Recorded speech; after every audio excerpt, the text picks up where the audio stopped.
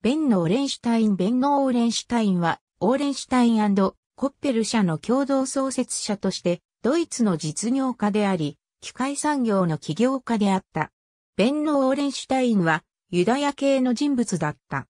1876年にアルトール・コッペルと共に、フェルトバーン用機材の商社を設立し、組み立て式ケーキ場や鍋トロを販売したが、コッペルは1885年に退職した。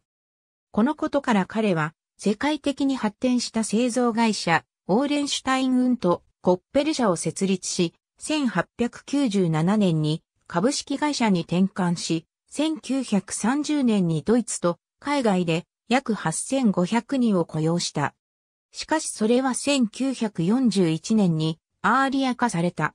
オーレンシュタインはローザ・ランツベルガーと結婚し、ヘルマン・アーロンの義兄弟になった。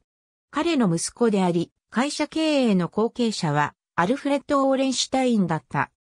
彼の娘エディタは1920年に後の財務大臣であるアルトール・ツァルデンと結婚した。その後、ベンノ・オーレンシュタインは、ベルリン・バイセンゼーのユダヤ人墓地の WT 地区にある名誉墓地に埋葬された。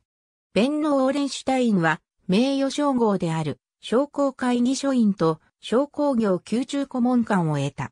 またベンノ・オーレンシュタイン賞は、大学と産業界のコミュニケーションを促進するために1987年から授与されている。名誉の墓、 Verlagsinformation zum Buch und Benno Orenstein。ありがとうございます。